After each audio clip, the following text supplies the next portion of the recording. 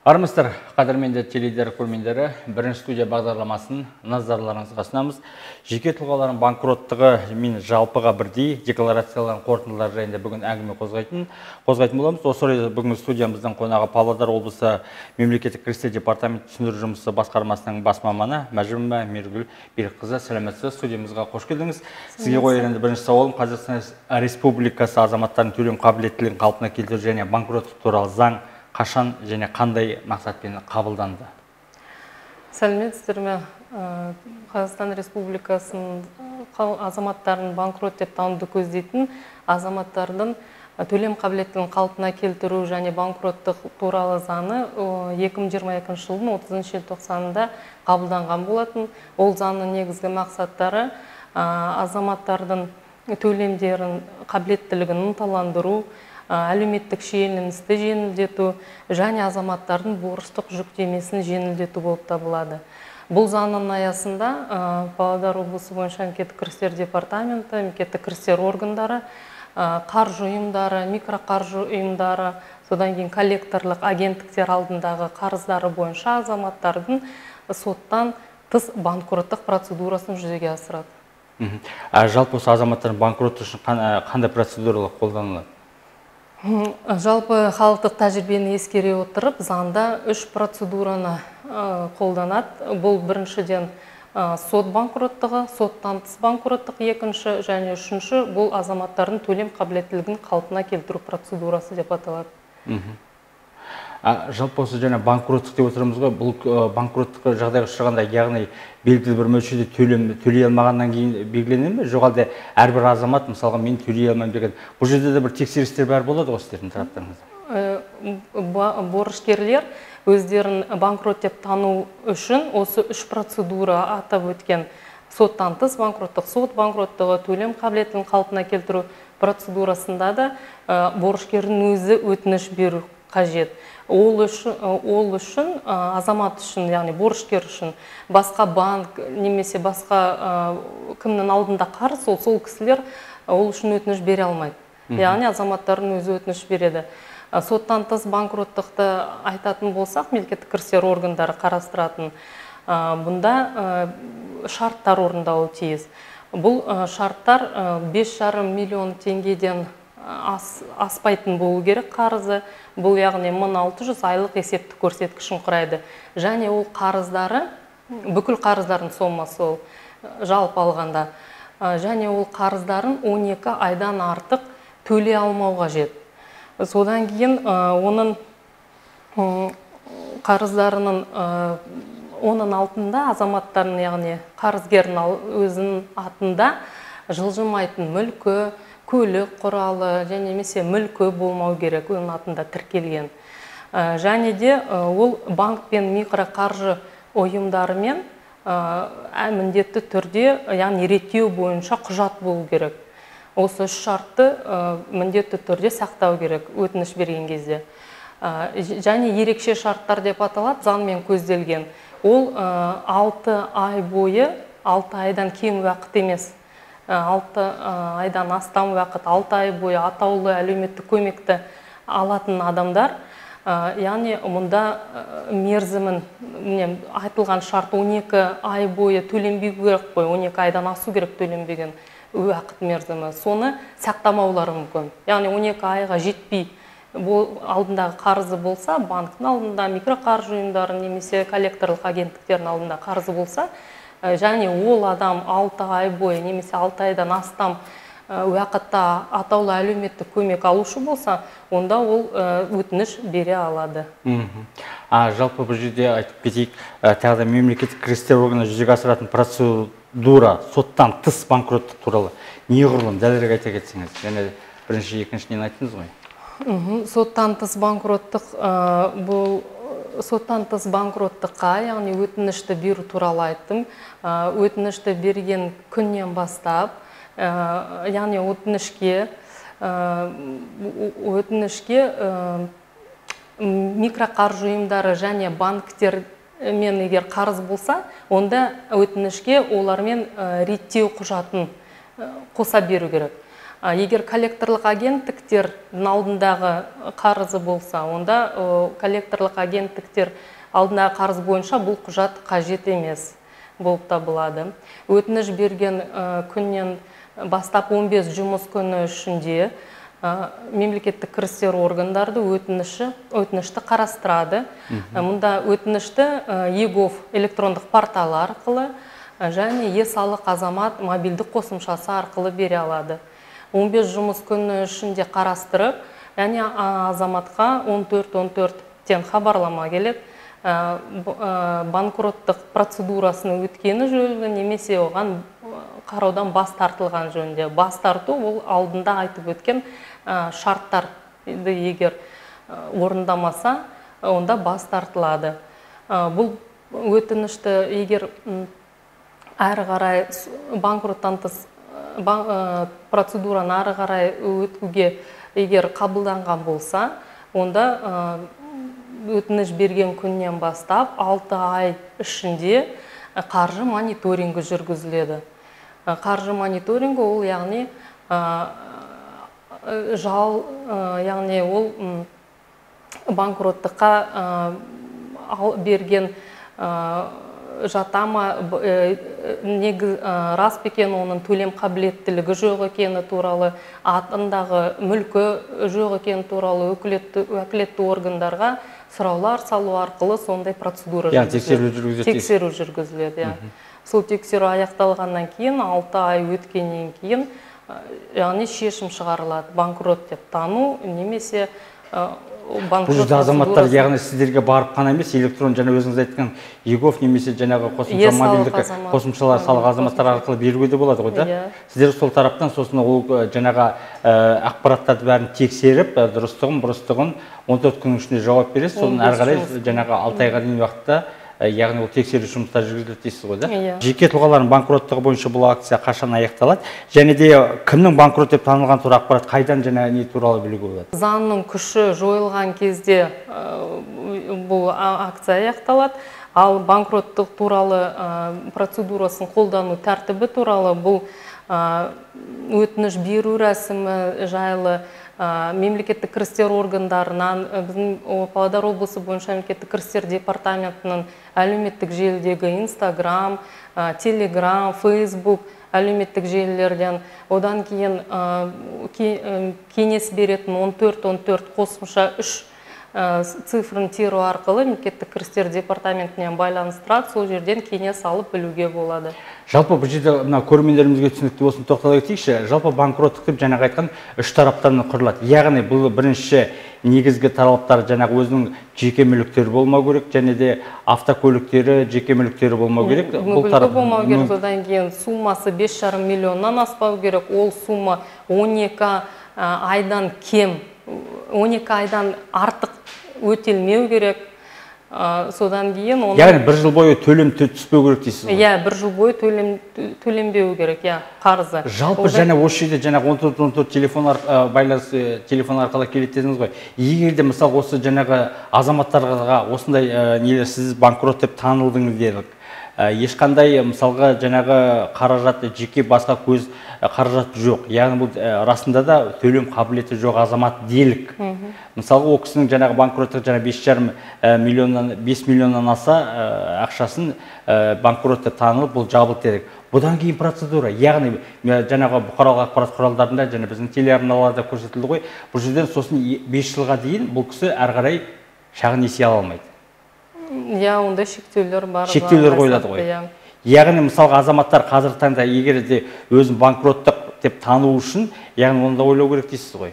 Ол жағы да бар иә шектеулері де бар яғни сонда азаматтарымыздың қазіргі таңда банкроттық ниеткенде а егер де мысалға жаңағы сіз егов порталы арқылы жаңағы электрондық портал арқылы ә, мысалға ә, құжаттарын тапсырды делік мысалға мені банкрот деп танылсын бірақ ол белгісіз бір себептермен мысалға қаланың бір жерінде мысалға бір үй бар екен оны, оны білмедік. Егер осындай шығып қалған жағдайлар болатын болса немесе ә, жекеше тағы өзінің бір ә, қосымша бір жұмыс орындарынан ақша тауып жатыр бірақ ол көзделмеген мынаның бәрі сіздер оған бір шара қолданасыздар ма? Жоқ әлде жай ғана ә, сізге берілмейді деген ақпарат қана келе ме өтінішті тапсырған кезде шарттарға сәйкес келе ме келмейді жөнінде оны әр мемлекеттік не ақпараттық жүйелер арқылы бұның бәрі тексеріледі.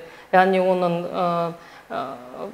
банк жүйесі арқылы мына микроқаржы ұйымдары коллекторлық агенттіктерде қандай мөлшерде қарызы бар сол бірінші тексеріледі бес жарым миллионнан аспау керек ол.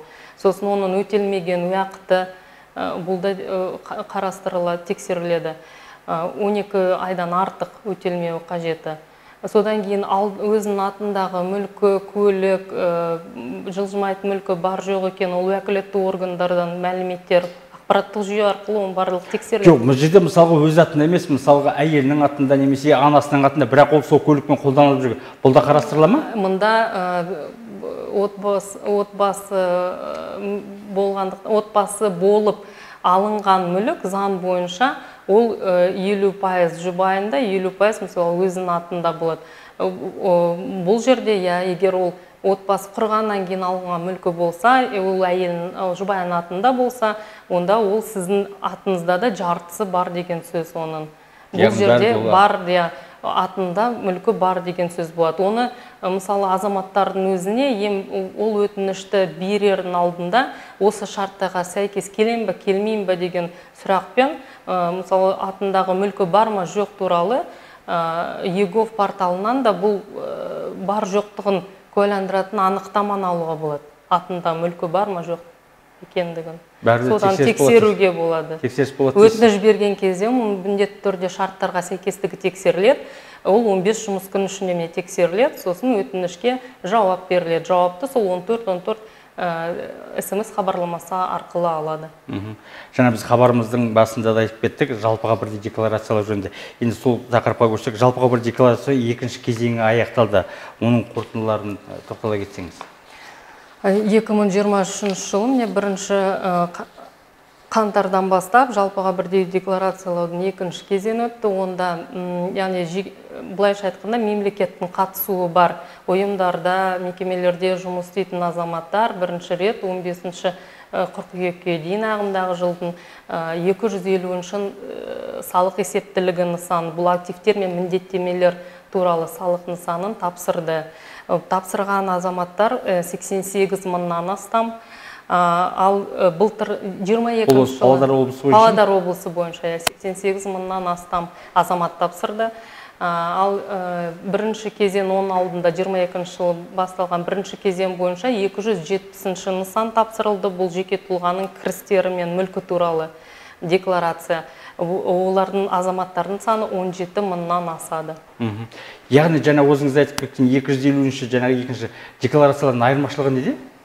250 декларация бұл активтер мен міндеттемелер туралы декларация яғни бұл бірыңғай жалпылау декларацияға өткен кезде өзінде бүгін сол өткен кезге дейін атындағы бар мүлкі ол тек қана ол тек қазақстан республикасынан тыс жердегі мүлік. Мұнда яғни бір сөзбен айтқанда шетелде шетелдегі иә мүлік. Содан кейін оның қолма қол ақша жинақталған шетелдегі банк шоттарындағы ақша одан кейін заңды тұлғаның қатысу, қатысушысы болса құрылтайшысы онда ондағы яғни оның үлесі жарғылық капиталындағы қаржы бағалы қағаздардың үлесі. Міне сондай мәліметтерді көздейді екі жүз яғни қазақстаннан тыс жердегі. Тыс жердегі иә. Ал екі жүз жетпісінші нысаны бұл оның алған жеке тұлғаның кірістері мен мүлкі туралы декларация бұл жыл ағымында алған кірістері одан кейін атындағы сатылған мүлкі кімге сатылды қандай қаражат көзінен сатылды кімге сатылған туралы ақпараттан да жеке сәйкестендіру номерін көрсету арқылы көрсетеді.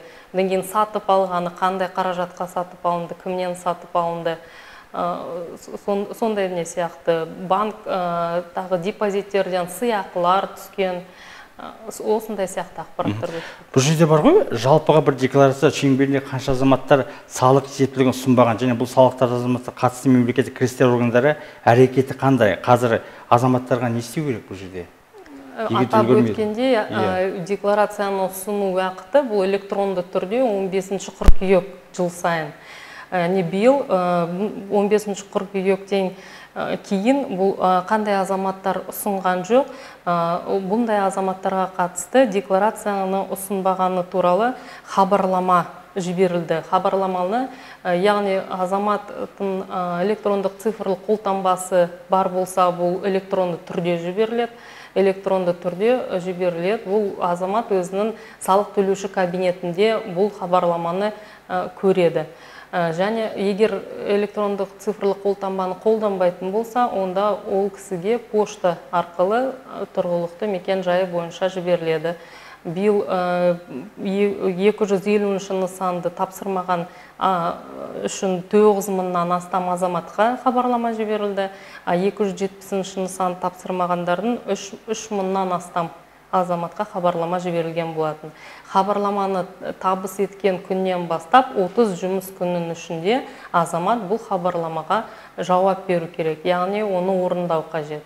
А егер де мысалы жаңа өзіңіз айтып кеттіңіз декларация ұсынбаған азаматтарға қандай жауапкершілік қолданылады?